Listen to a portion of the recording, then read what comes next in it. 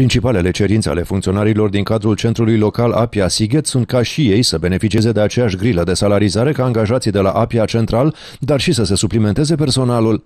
Astăzi avem uh, la nivel național o acțiune de protest uh, față de modificările legii salarizării uh, aducerea pe aceeași grilă de salarizare cu Apia Central, deoarece uh, Apia salariații din Apia Central figurează cu un alt coeficient pe lista de salarizare, noi figurăm cu un alt uh, procent și solicităm acest lucru.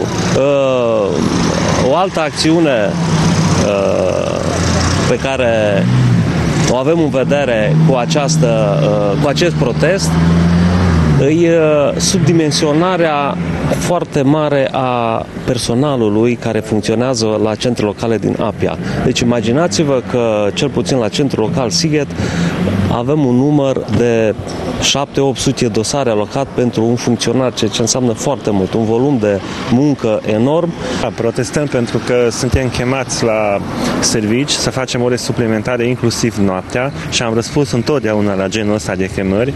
Au fost chemări inclusiv de genul la ora 0,0000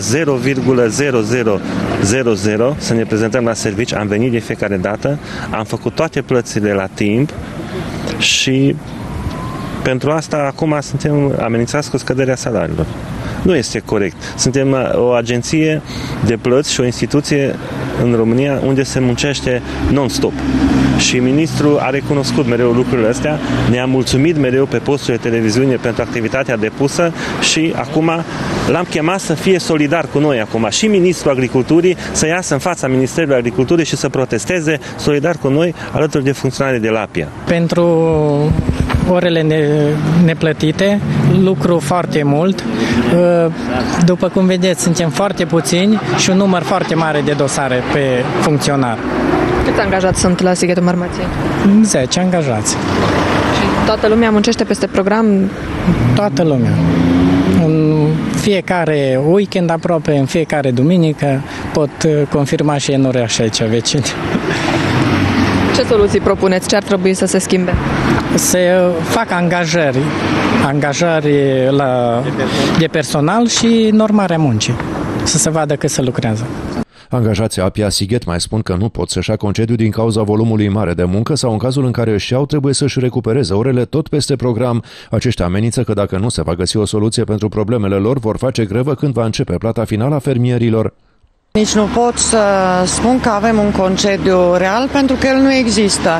Atâta timp cât îți permiți să te duci în concediu, după ce revii trebuie să stai după program, trebuie să vii sâmbătă, duminica, fie că sunt sărbători de Paște, fie că sunt sărbători de iarnă, să-ți aduci treaba la zi că nu ți-o face nimeni.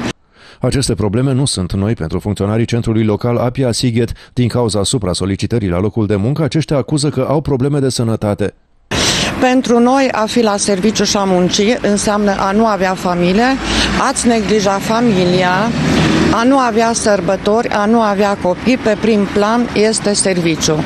Motiv pentru care avem și un, coleg, un coleg la centrul local Sighet, care a făcut accident vascular la locul de muncă și care este prezent la această dată printre noi, colegul Vancea.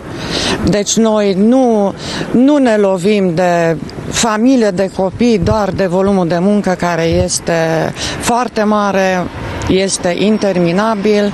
Suntem 10 angajați la 14 UAT-uri. Șefa centrului local Apia Sighet, Liliana Țiple, a fost alături de funcționari și a susținut toate solicitările acestora.